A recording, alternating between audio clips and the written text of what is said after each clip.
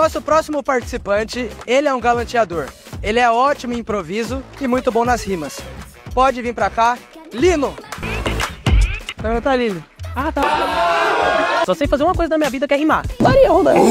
Papo de dar rodela, os malucos dá de graça. Nem precisa salvar a mina, nem precisa falar que ama. E já que é pra dar rodela, eu dou junto Santana. Por isso mesmo que eu já mando no meu verso. E a minha rima não é sonsa. Caralho, na minha frente eu acho que eu achei o cover da Luísa Sonza. Uou! que mais que você é bom, Lino? Fala pra nós. Tem alguma coisa que você faz assim pra impressionar as garotas? Ah, pra impressionar as garotas não, porque é bem idiota. O bom é que isso aqui ou vai dar muito certo ou vai dar muito errado. Mickey já.